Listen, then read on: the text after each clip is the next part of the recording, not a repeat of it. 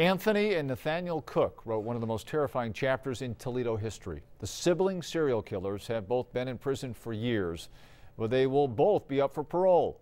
We got a tremendous reaction from you about this story, and so many of you, our viewers, want to know how this is possible. 13 ABC's Lissa Guyton on the story for weeks, and tonight she introduces you to more people who are connected by the tragedy of the Cook brothers. Lissa? Well, Lee Anthony is up for parole this month, Nathaniel in 2018. Tonight, we introduce you to a man who has devoted decades of his life to this case, as well as family and friends of Connie Sue Thompson, who have never publicly talked about their private pain inflicted by the Cook brothers. For like her first car. Some of the pictures of Connie Sue Thompson are beginning to fade, but the memory of her is still so vivid for family and friends.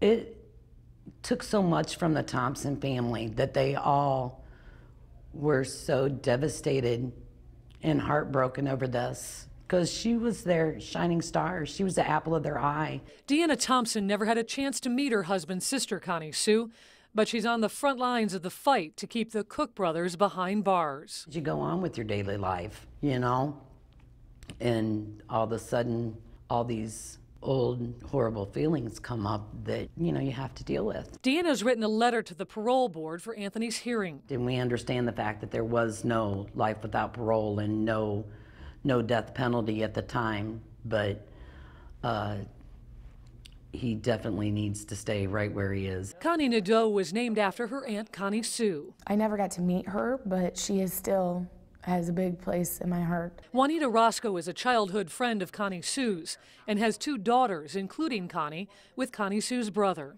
A whole community, even now, the whole community has come together to um, really kind of be her voice. We know that the chances of Anthony getting out are slim, but we also know that the chances of Nathaniel getting out, who was part of Connie's murder, um, brutal murder, we do know that the chances of him getting out are more than great.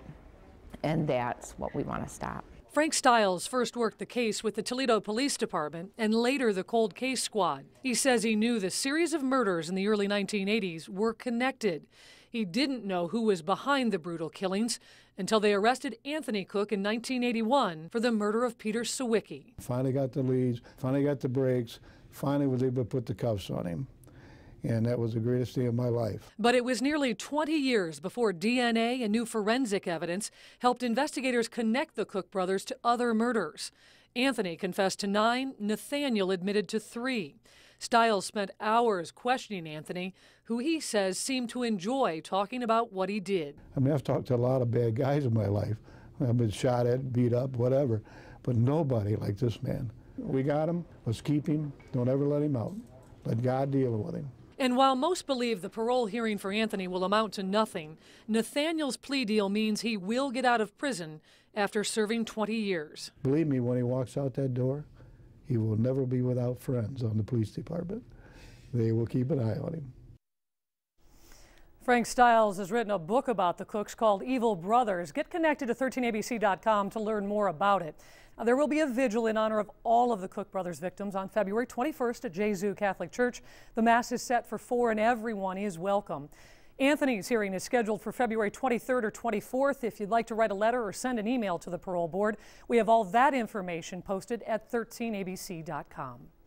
Reporting live, Lissa Guyton, 13ABC, Action News.